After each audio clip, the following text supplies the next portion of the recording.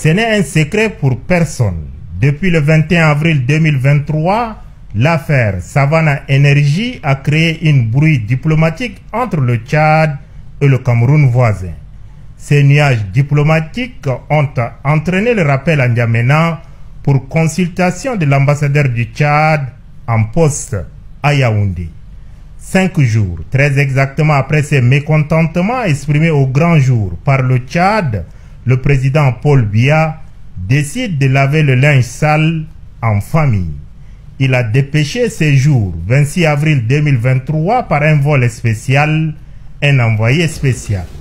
Il s'agit du ministre d'État, secrétaire général de la présidence de la République, Ferdinand Ngo homme de consensus et plaçant au centre de ses préoccupations le raffermissement des relations ancestrales entre le Tchad et le Cameroun, le président de transition, président de la République, chef de l'État, général Mamad Idriss Déby Itno, a reçu le porteur du plus confidentiel de son homologue Paul Biya dans la convivialité et la fraternité.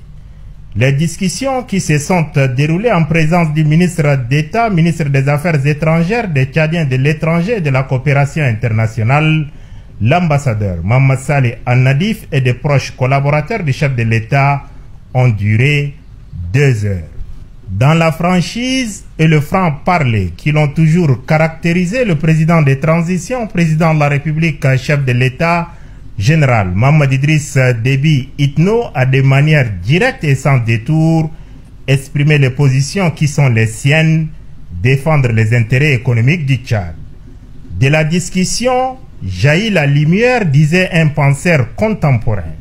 L'émissaire camerounais rassure au sortir des discussions de la bonne disposition de son pays à aplanir cette divergence qui sera bientôt un lointain souvenir. J'étais porteur d'un message, d'un message d'amitié, d'un message de fraternité. Et je peux vous assurer que j'ai été fort bien reçu et que les relations séculaires entre le Tchad et le Cameroun, qui ont toujours été excellentes, le demeurent et que les deux chefs d'État sont disposés à continuer à travailler au renforcement de ces relations-là pour le bien-être de leurs États et de leur peuple. Une dernière question, si vous le permettez. Je vais aller tout droit au but. Le différent Tchad-Cameroun par rapport à Savannah, est-ce que vous l'avez abordé avec le chef de l'État? Alors, ainsi que je vous l'ai indiqué, euh, il ne m'appartient pas de révéler euh, le détail des échanges que le chef de l'État euh, m'a fait l'honneur de, de, de, m'accorder, de l'entretien qu'il m'a fait l'honneur de m'accorder.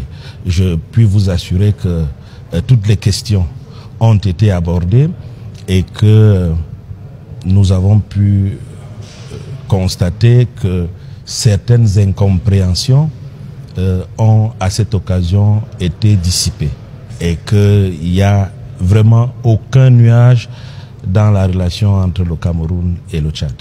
Peu avant de prendre congé du chef de l'État, général Mamad Idriss Déby Itno, pour prendre la direction de l'aéroport pour Yaoundé, Ferdinand Ngo ministre d'État, secrétaire général de la présidence de la République, a exprimé ses sincères remerciements au président de la République pour l'accueil chaleureux et fraternel.